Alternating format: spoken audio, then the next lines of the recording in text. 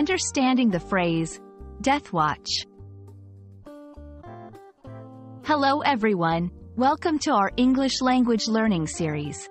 Today, we're going to explore a fascinating phrase, Death Watch.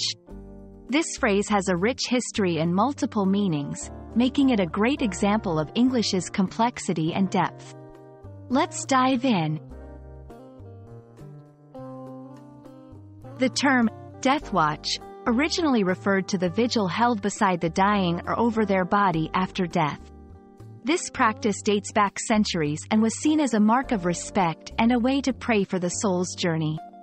It's a solemn, contemplative time, often involving family and close friends.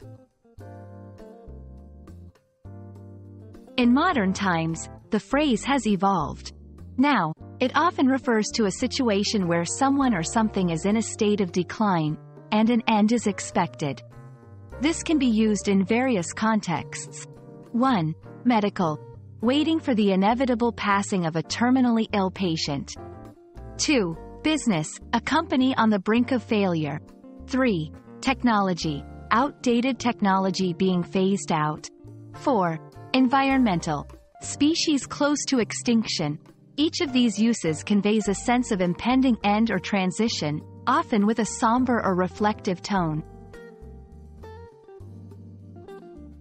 Interestingly, Death Watch has also found its way into popular culture.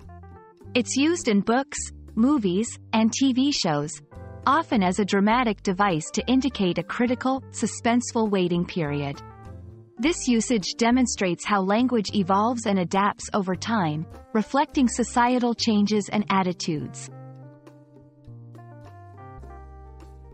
So, there you have it, the phrase, Death Watch, with its historical roots and modern interpretations. It's a great example of how English can be both deeply historical and dynamically modern. Thank you for joining me today. I hope this has been insightful, and I look forward to exploring more fascinating aspects of the English language with you in future videos.